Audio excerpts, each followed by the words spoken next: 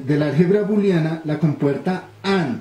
En la AND, su tabla de verdad, ¿qué quiere decir?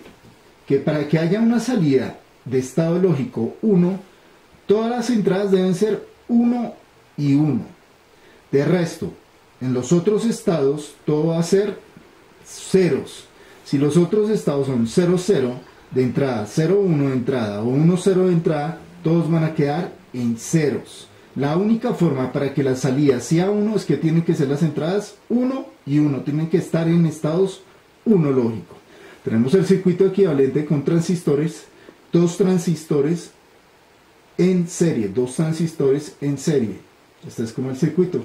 Ahora tenemos la compuerta TTL 7408, donde el GND es el pin 7, el pin 14 es la polaridad BCC y la, el pin 1 y el pin 2 son entradas para esta compuerta AND. Pin 1 es la 1A, pin 2 es la 1B y el pin 3, 1, 2 y 3, el pin 3 es la salida. De esta forma tenemos que el 4 es una entrada, pin 5 es una entrada y pin 6 es una salida. De esta forma tenemos que la 9 es una entrada, pin 10 es una entrada y el pin 8 es una salida.